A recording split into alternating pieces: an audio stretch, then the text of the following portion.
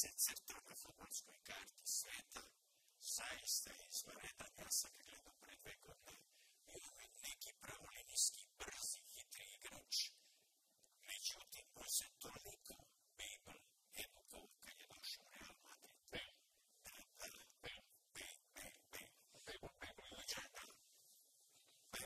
Madrid.